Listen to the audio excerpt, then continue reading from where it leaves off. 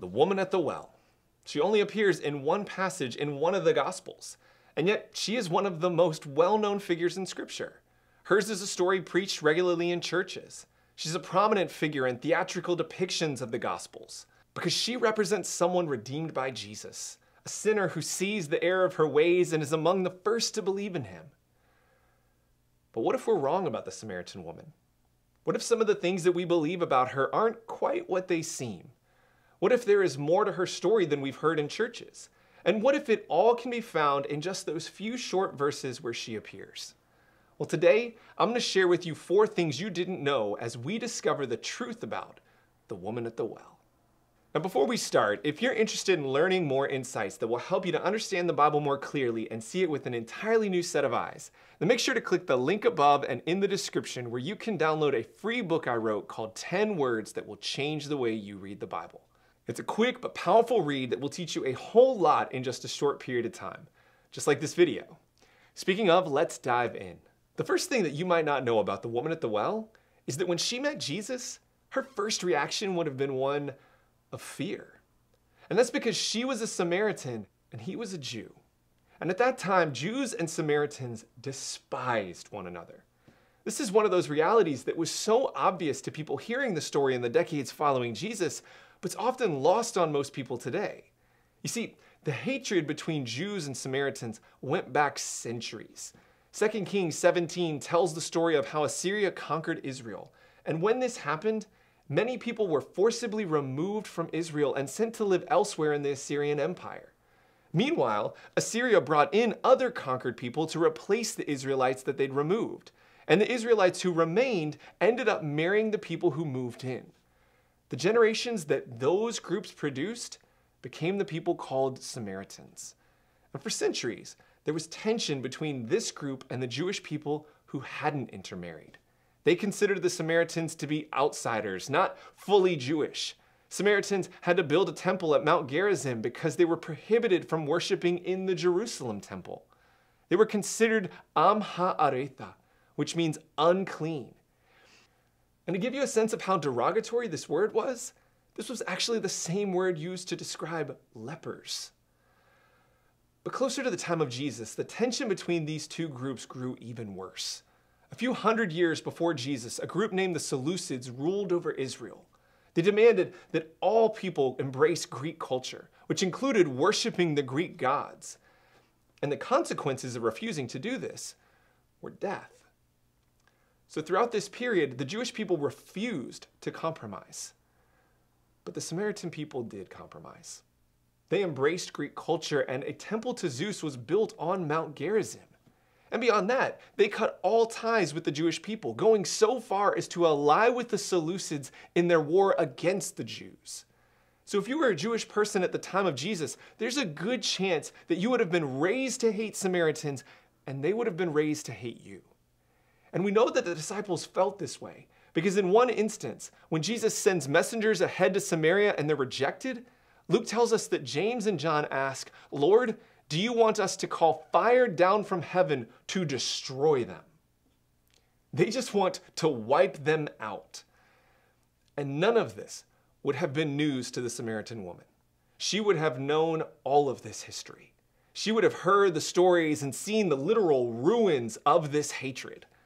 So when she sees a Jewish man sitting at the well that she's approaching, one of her first emotions would have been fear.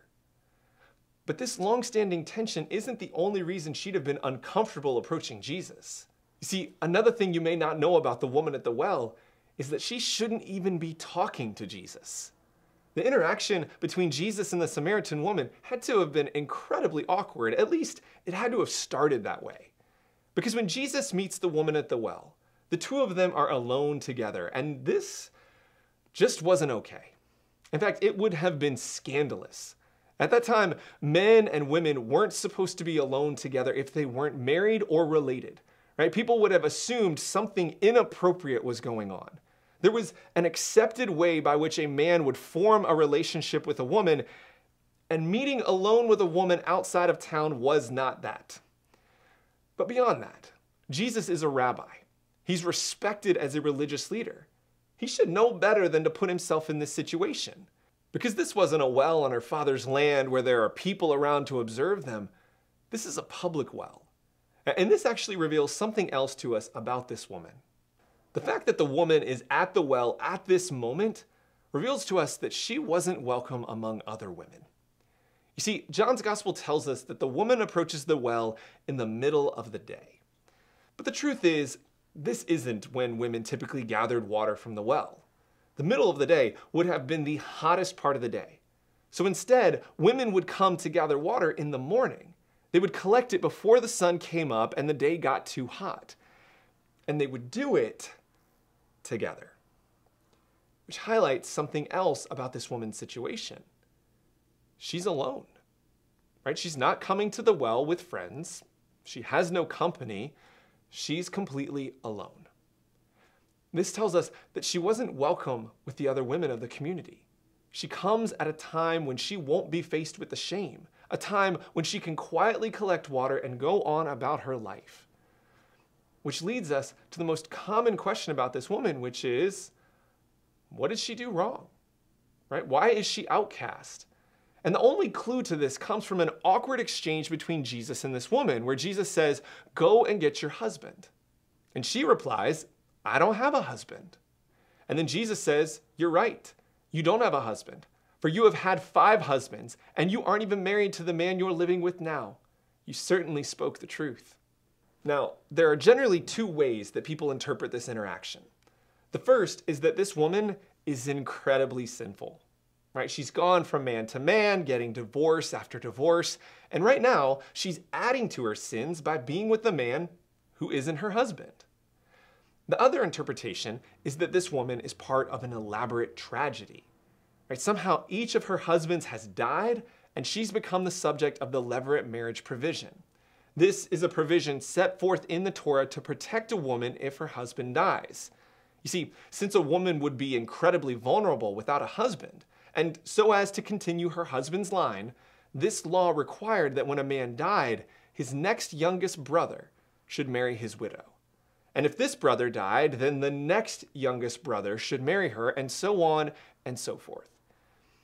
So, if this were the case, this woman has lost many husbands, and now perhaps the last brother, like Onan in Genesis, refuses to truly be with her because of what has happened to all of his other brothers. But you know, there's actually a third option here, something that is a mix between these two stories that, that actually ties it into one of Jesus' most relevant teachings at that time. And this actually leads us to our final insight about this woman at the well, which is that she may be a victim, not a sinner. You see, one of the most hotly debated issues at the time of Jesus was the question about what constituted an acceptable reason for divorce.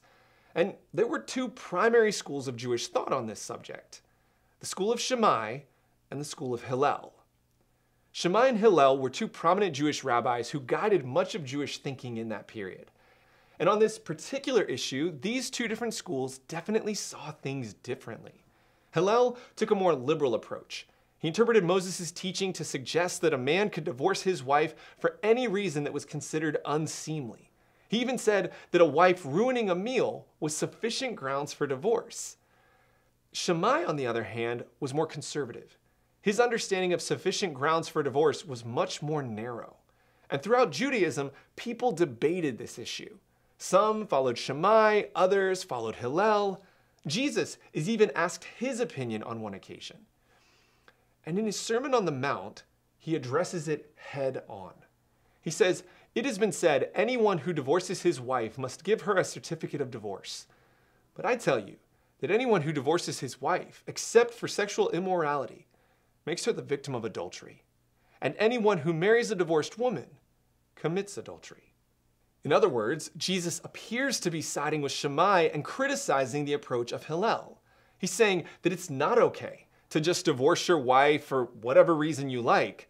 The only acceptable reason is infidelity. And if you divorce her for any other reason, you're actually forcing her into a position where she has to be unfaithful. In God's eyes, that first marriage is still upheld. So if the husband casts her out, refuses to be her husband, she's left with few options. Women were incredibly vulnerable in the first century. Their protection and survival often depended on their father or their husband. So if a woman is simply divorced on a whim and she needs to survive, her husband is basically forcing her into adultery. Let me ask you, how does that verse change the way that you look at the woman at the well? The conversation between Jesus and this woman is so broad and so general. There are, there are so many different things we can infer. She could be incredibly sinful, all of her husbands could have died, or it could be that she's a tragic victim of divorce, of a system that has twisted God's intentions for marriage and left her with few options. A system that Jesus says has no place in his kingdom. Whatever the case, in Jesus, this woman has found hope and healing. In Jesus, she has found what no one else can give her, what no one else will give her grace. And through this brief interaction, her story is changed forever. Where in your life do you feel like this woman? Unwelcomed by people around you, confronted with people that you believe hate you, placed in a situation with no good option. And where do you need to turn your heart to the Lord and accept the salvation and fresh start that Jesus is offering? To believe that He is the one who can offer you new life and to experience the grace that only He can give. Well, that's it for this week. Thank you so much for joining us. Now, if you haven't done so already, make sure to download my free book, 10 Words That Will Change the Way You Read the Bible. You can find the link up here or down in the description. And if you'd like to see another video that will change the way you see a familiar person in the Bible, then click this link right here. Thank you so much for watching. Have a great week, and we'll see you next time.